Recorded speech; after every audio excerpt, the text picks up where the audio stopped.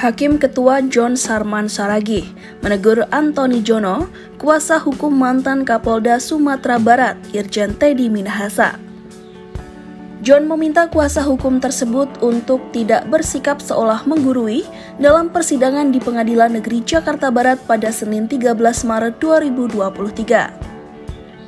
Peristiwa tersebut berawal dari kubu Teddy saat bertanya kepada saksi ahli forensik digital Ruby Zukri Alamsyah terkait kesalahan tanggal pada laporan digital forensik yang diketik secara manual dapat dijamin keasliannya. Kalau ada ahli yang menerangkan laporan hasil digital forensik dia adalah hasil ketikan manual yang kebetulan juga kita temuin banyak kesalahan tanggal ya kesalahan tanggal kesalahan nomor nomor pengirim nomor handphone Kemudian juga dikatakan ada memungkinkan kesalahan ketik chat. Bagaimana pendapat ahli? Apakah masih bisa dijamin keaslian dan keutuhan? Nah, eh, tadi kalau yang dimaksudkan ahli tadi adalah sebuah percakapan di, tidak apa diketik ulang atau diketik manual atau ditampilkan ada tanggal yang berbeda karena dengan alasan ketik manual. Menurut saya berarti logikanya sih mestinya uh, kita semua seluruh praktisi digital forensik di mana pun tidak akan mungkin mengulang, mengetik ulang tampilan pembicaraan ataupun dokumen apa pun dari barang, barang bukti elektronik.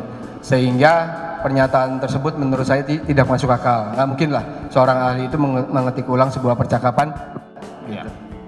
Uh, yang mulia hanya untuk berita acara karena ahli yang dari Polda Metro Jaya mengatakan laporan dia itu hasil ketikan manual. Sedangkan menurut ahli kami itu harus hasil ekspor. Iya sudah dicatat. iya. Jangan ikut saudara menggurui di sini. Dan, nah, sudah dicatat semua. Nanti siap, kita simpulkan. Ya. Siap, yang Jangan ragu lah. Siap. Berpikir positif aja semua. Ya. Oke. Oke. Pertanyaan lain. Silakan. Menurut jaksa dalam dakwaan, Teddy terbukti bekerja sama dengan AKBP Dodi Prawira Negara, Syamsul Ma'arif, dan Linda Puji Astuti untuk menawarkan, membeli, menjual dan menjadi perantara penyebaran narkotika. Narkotika yang dijual tersebut merupakan hasil penyelundupan barang sitaan seberat lebih dari 5 kg. Dalam persidangan terungkap bahwa Teddy meminta AKBP Dodi untuk menukar sabu tersebut dengan tawas. Teddy dan para terdakwa lainnya terbukti melanggar pasal 114 ayat 2 subsider pasal 112 ayat 2, jungto pasal 132 ayat 1, jungto pasal 55 Undang-Undang Nomor 35 Tahun 2009 tentang narkotika.